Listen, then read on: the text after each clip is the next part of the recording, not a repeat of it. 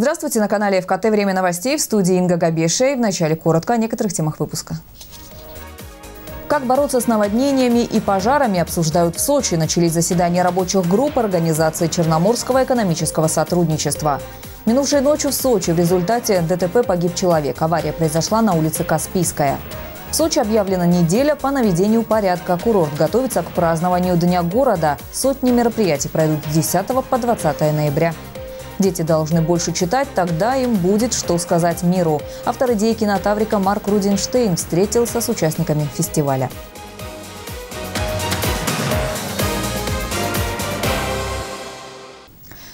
Монеты времен Митридата, античное письмо на металлической пластине и древние амфоры. Исторические находки с 6 века до нашей эры по 11 век нашей эры показали сегодня губернатору Вениамину Кондратьеву. Глава региона посетил научно-культурный центр «Фанагория» в Темрюкском районе. Два года назад на базе археологического комплекса был создан музей. Здесь собраны находки, которые воссоздают историю. Ежегодно в летний период сюда на экскурсию приезжают более двух тысяч туристов. Вениамин Кондратьев отметил, что привлекать туристов можно не только пляжным отдыхом и горами, но и историей. То, что вы делаете, не только представляет ценность для истории или историческую ценность. Э, Василий я думаю, что здесь это все может быть объектами показа для жителей края и гостей. Э, со всей страны, а может быть со всего мира. Вот здесь, конечно, эту возможность мы должны не упустить. Здесь на самом деле такие уникальные. Здесь есть находки, городища, поселения, которые больше там, тысячи лет, двух тысяч лет. Задумайтесь. Конечно, это э, вот есть то, что может поманить туристов и на самом деле где-то даже заставить их сюда приехать, чтобы посмотреть и окунуться в эту двух с половиной тысячную или трехтысячную историю. Рабочий день губернатора Вениамина Кондратьева прошел сегодня в Темрюкском районе. Глава региона посетил несколько предприятий, а потом успехи и проблемы района обсудил с активом муниципалитета. До конца года в крае приведут в порядок больше тысячи километров автомагистрали. О ремонте дорог в регионе говорили на планерке у губернатора. Вениамин Кондратьев проверил темпы работы с главами районов, сверил сроки их окончания. Подробности у наших краснодарских коллег. Такой большой дорожный ремонт в крае не делали практически никогда. Техника работает чуть ли не в каждом городе и станице Кубани. Свежий асфальт метр за метром появляется на всех основных магистралях.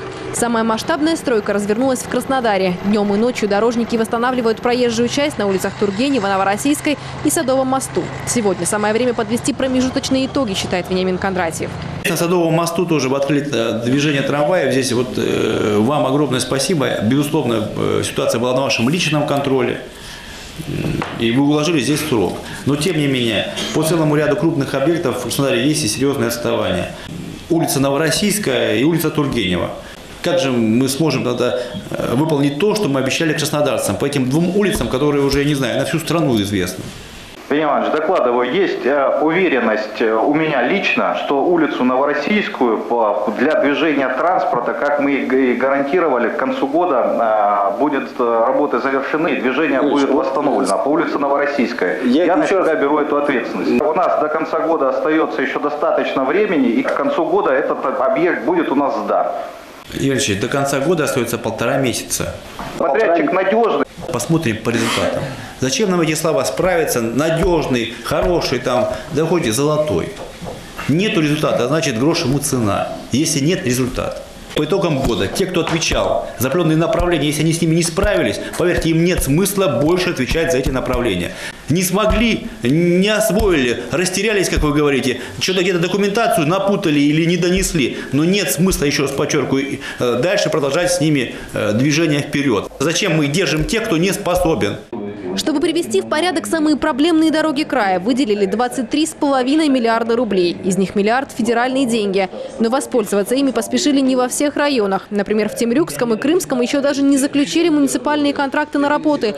А в сельских поселениях сразу нескольких муниципалитетов не начали дорожный ремонт.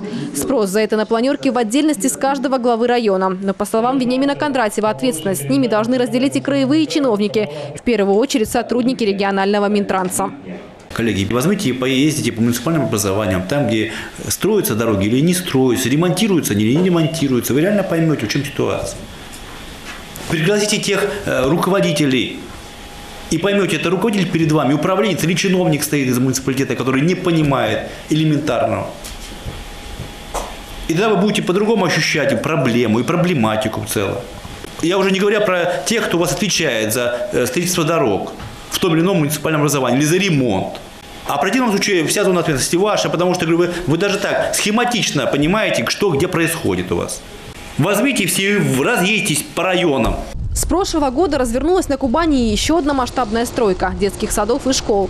И сегодня по графикам работ тоже сверяют часы. До конца этого года должны закончить возведение сразу восьми учебных заведений, а это 3200 новых мест.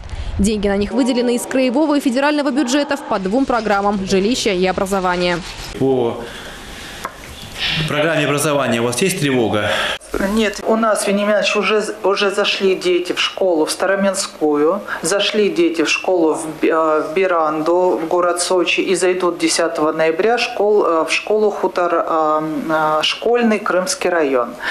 Три школы на выходе у нас находятся. Это город Сочи, 400 мест, Армавир, 400 мест, Новороссийск, 400 мест. Хутор Ленина, это восьмая школа, она до конца года по строительной готовности будет сдана, и 1 сентября следующего года она, она примет детей. Коллеги, другого на пути явно нету, и мы должны понимать, школы мы начали строить, мы продолжим их строить. Темпы обещают не сбавлять и после Нового года. До 2019-го в планах достроить еще три детских сада и восемь общеобразовательных заведений, в том числе в Армавире, Краснодаре, Северском, Туапсинском и Динском районах. Всего же за время большого строительства на Кубани откроют 20 школ.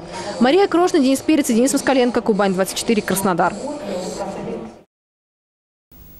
Дорожный вопрос касается каждого. Минувшей ночью в Сочи в результате ДТП погиб человек. Авария произошла на улице Каспийская.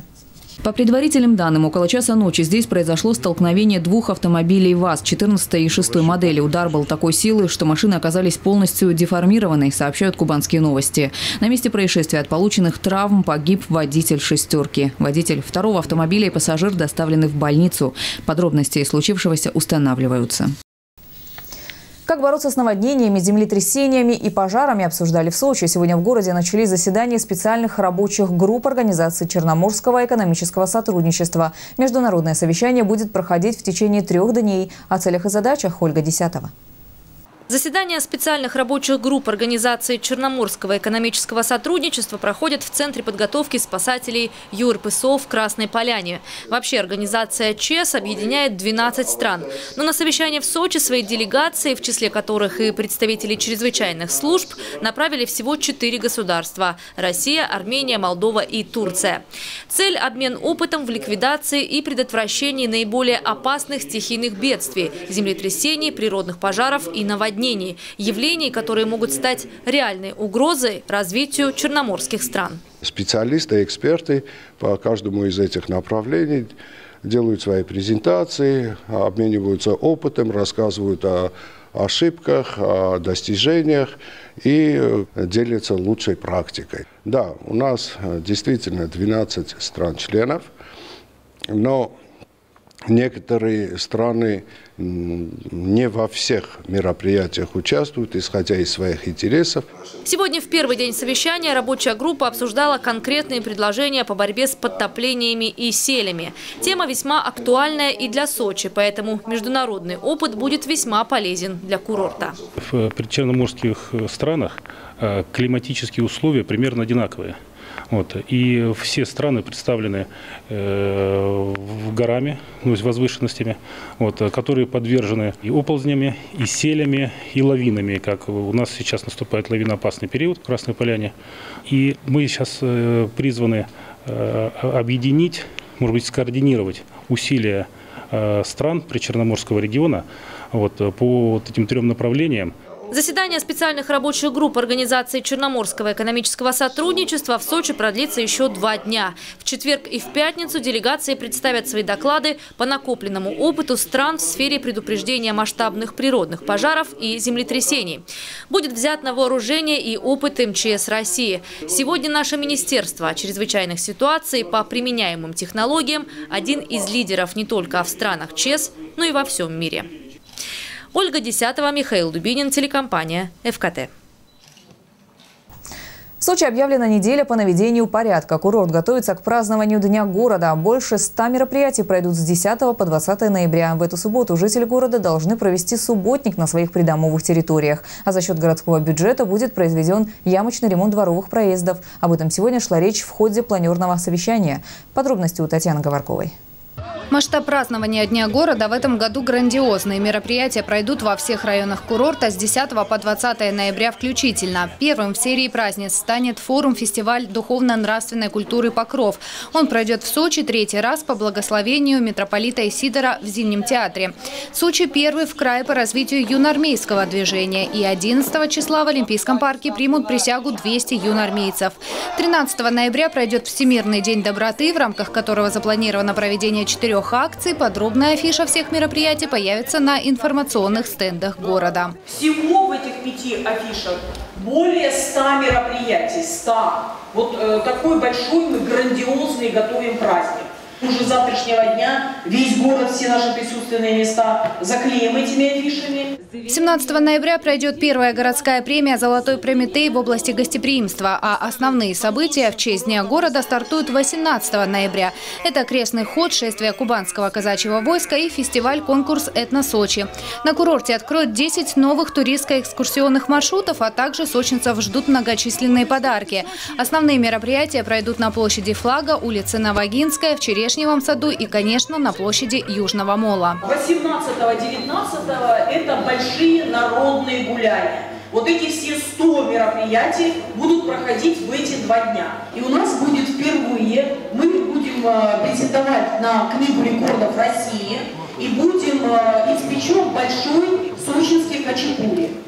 И это тоже будет на Южном Малу, это будет особая такая видовая акция, которая пройдет в 11 часов.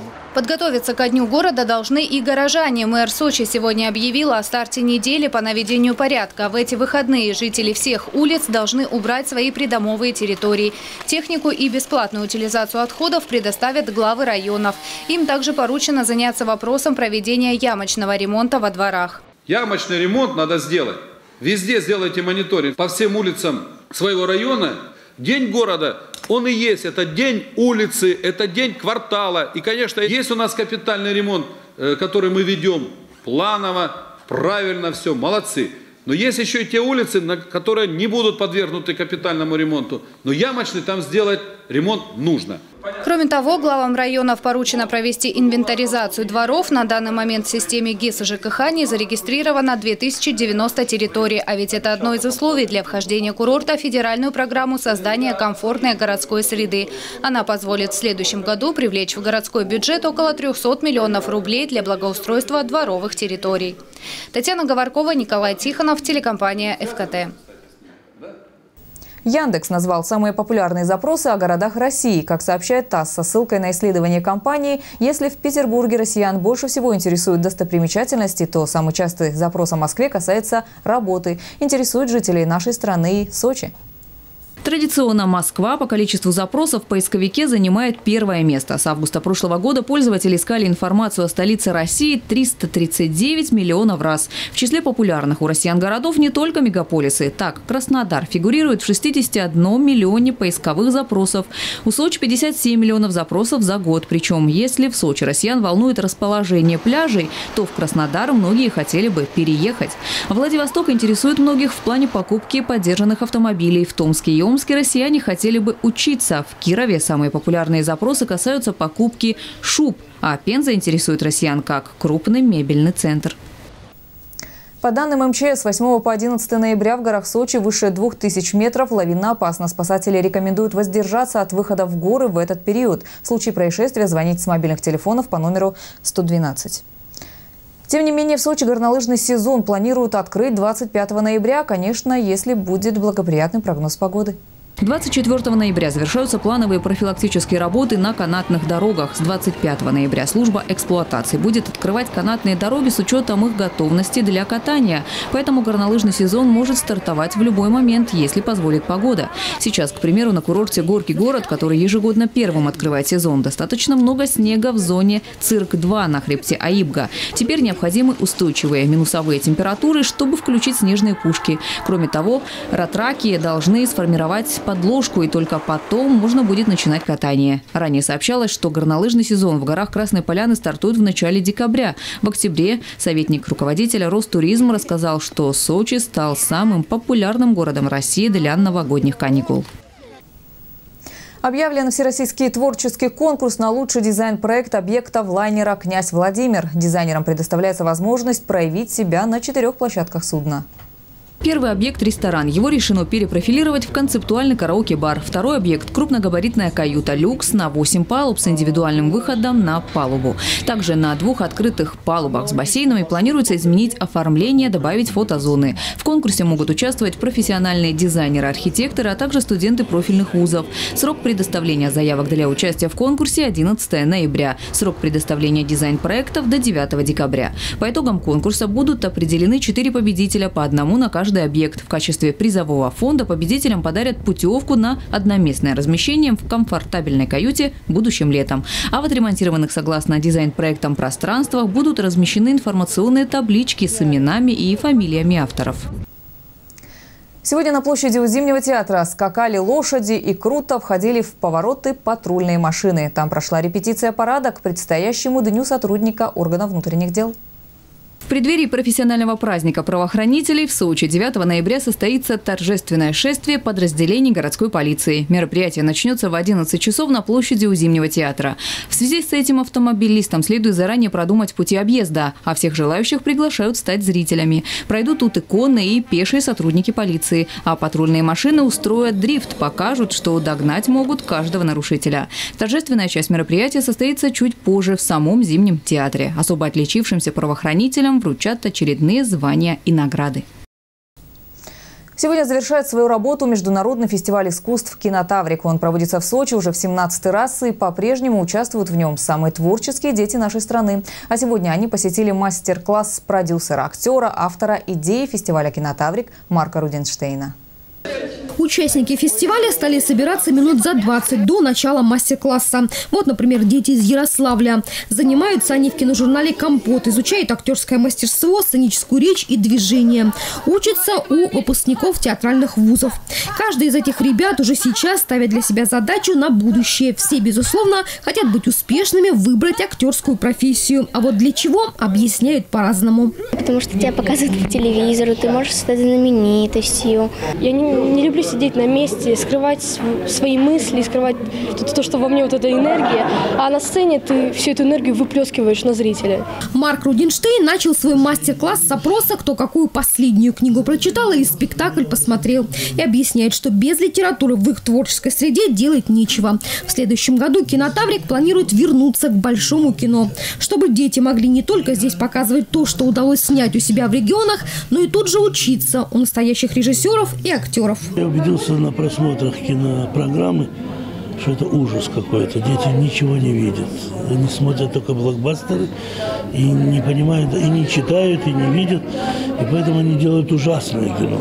Не, не просто ужасное с точки зрения э, кино, а с точки зрения начитанности, видения того э, мира. И поэтому мы будем теперь отбирать лучших 10 фильмов за год действительно лучших, не по принципу там кассовых фильмов, а 10 лучших фильмов за год и, и делать такой супер конкурс. Еще Рудинштейн объясняет, искать таланты среди детей – это всегда была задача фестиваля, и она никогда не изменится. За эти 17 лет 35 участников кинотаврика выросли в серьезных артистов. Елена Овсецна, Демид Даниловский, телекомпания «ФКТ». Сочинцев приглашают поучаствовать в городском поэтическом конкурсе. 25 ноября в 14 часов в Центральной библиотеке на улице Чайковского пройдет третий ежегодный конкурс «Поэт Сочи». Заявки на участие принимаются в свободной форме в личном сообщении через социальную сеть ВКонтакте или на электронную почту с заголовком в письме «Поэт-2017». К заявке нужно прикрепить короткую анкету участника. В конкурсе могут принять участие как жители, так и гости города от 16 до 60 лет. Победители получат дипломы и подарочные сертификаты. Всего будет три призовых места, а также приз зрительских симпатий. Все стихи должны быть авторскими. В первом туре участникам необходимо подготовить стихотворение о любимом любимом городе. Это не обязательно Сочи. И второе стихотворение в одном из жанров – сатира, юмор, басня, ирония. Во втором туре от авторов потребуются уже три стихотворения – любовная лирика на осеннюю тематику и стихи о природе. Прошедших в третий тур попросят написать три стихотворения на свободную тему. Сегодня Международный день КВН. Именно в этот день, 8 ноября 1961 года, в эфир вышла первая игра клуба «Веселых и находчивых». Последние подсчеты утверждают, что в КВН так или иначе вовлечены около 12 миллионов человек со всего русскоязычного мира. КВН – это уже давно не просто веселая программа, не просто злободневный юмор и шутки, и даже не просто телевизионный эфир Центрального российского канала. Это школа, которая прививает навыки выступления на публике, умение держать себя. В общем, те качества, которые необходимы современному молодому человеку. В Сочи ежегодно на фестиваль КВН собирается до 600 команд. Активно поддерживается это движение и в крае. Губернатор Кубани неоднократно встречался с командами и обсуждал последние тенденции в движении КВН.